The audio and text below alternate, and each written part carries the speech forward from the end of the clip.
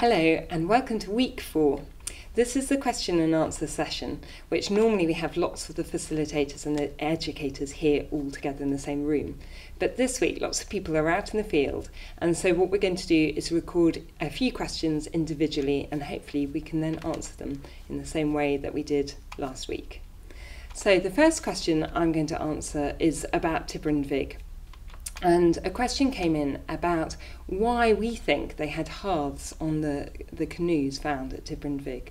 And I think this is really, really interesting question because the most obvious answer, of course, is that um, people wanted to transport fire from place to place. You know, it's really, really difficult to light a fire, and you're not going to just let it go out if you could possibly transport it and save yourself the effort. So, from moving from one settlement to another, for example, from a summer settlement to a winter settlement to a different activity zone, you would take that fire with you. However, there have been lots of different uh, hypotheses that have been put forward. Another one is that people perhaps needed it for warmth whilst on board longer journeys and for cooking fish. And we can see this in ethnographic accounts. For example, the Aboriginals uh, in Australia quite often use fires on board bark canoes, and they use that for cooking and for warmth as well when doing longer trips. And we have archaeological evidence to support this. from a late Neolithic site in Scandinavia, which has a hearth on board the logboat, and in this hearth we have charcoal, but we also have burnt fish, uh, burnt fish remains as well.